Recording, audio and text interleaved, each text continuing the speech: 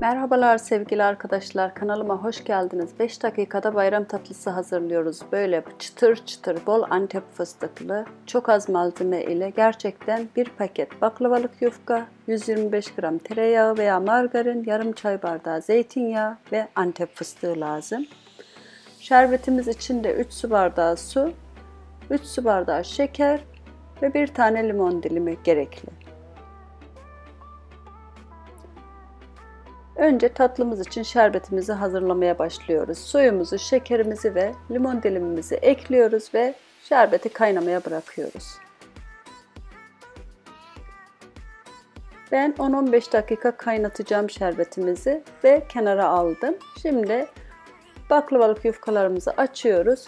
Ben aralarını yağlamayacağım. Bütün yağı üzerine ekleyeceğim birazdan. Altlarını hemen böyle 3-5 tane bol bol seriyorum. Ve sadece bir katına e, antep fıstığımızı sereceğim. Gerçekten hemen 5 dakikada yapabileceğiniz bir tatlı. Görüntüsüyle, tadıyla harika. Hiç dışarılardan almanıza gerek yok. Bu bayram gerçekten evinizin e, en güzel tatlısı olacak. Evet gördüğünüz gibi sade bir e, orta kısmına antep fıstığımızı serptik ve yine üzerlerine ben daha önceden hazırladığım Kenarlarını kestim. Tam üzeri güzel dursun diye tatlımızın. Kesme işlemine başlıyorum. Dikkatli bir şekilde böyle yavaş yavaş kestik ve şimdi tereyağıyla zeytinyağını karıştırıyorum ve her tarafına bir güzel gezdiriyorum. Bu arada fırınımızı da daha önceden 190 dereceye ısıttık. Önceden ısınmış fırına vereceğiz tatlımızı. Evet mutlaka borcamları ortaya değil altın bir üstüne koyarsanız daha iyi olur. Borcamlarda biraz hamurların altları zor pişiyor. O yüzden sonradan hamurlaşmalar olabilir. Bunu da belirtmek istiyorum. Mutlaka altın bir üstüne koyun tatlınızı. Evet 20 dakika pişti ve kızardı tatlımız. Ben hemen sıcak fırından çıkardığım hamura ılık şerbetimi ekliyorum.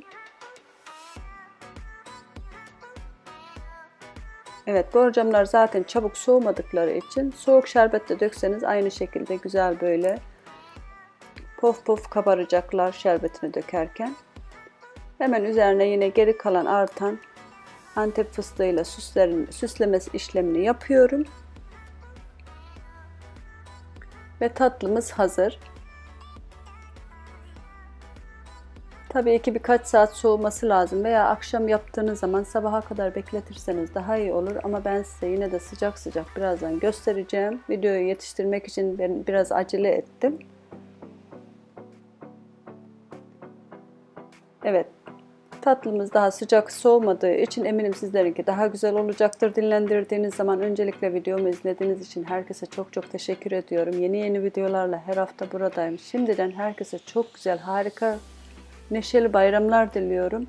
Umarım yeni videolarda tekrar görüşürüz. Herkese şimdiden güzel günler diliyorum.